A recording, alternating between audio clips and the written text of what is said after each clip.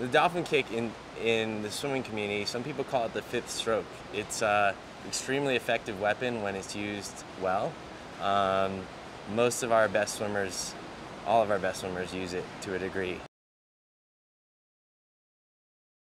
With video now, we don't have any way to concretely measure anything, measure someone's technique, what the angles of their arms or, or body is doing or their legs.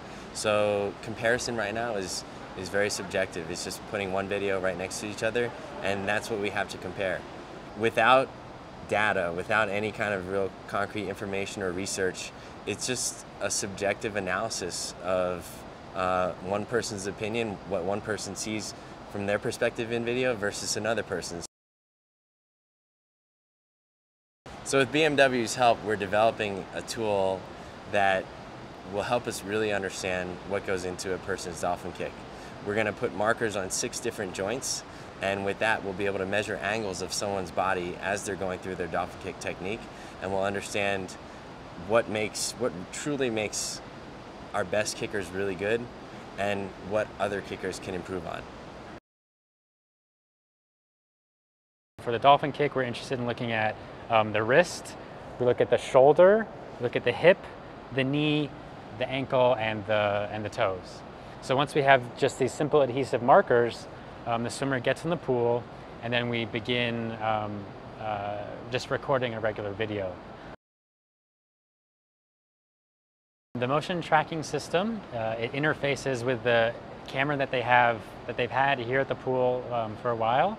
Um, what the software that we've written at the BMW Group Technology Office um, does is it automatically finds the swimmer, and from that um, it calculates um, it calculates a bunch of parameters about the swim based on understanding where the limbs are, where the joints are, and how these um, the orientation of these uh, joints and limbs change over time. So the camera at the pool, it's a, it's a very fast camera, so we're collecting a ton of frames per second. And what we're doing is, for each of these frames, we have the precise angle of all of these limbs. So we know that what the shoulder angle is underwater. We know how that relates to the foot angle and the, and the hip angle and the leg angle. And then once we've started to accumulate all these uh, frames, we have an idea about um, how many strokes we've had and how fast they are, um, and the, the depth of the kick, which are important parameters that USA Swimming is looking at. Processing video and getting more information um, from a video stream using a camera as a sensor um, is very important to us um, from the point of view of object detection, pedestrian detection, and these kind of things. So um, that's kind of motivated the project. Um, our current production cars have six or seven cameras right now. They're used for parking assistance, they're used to detect the lanes.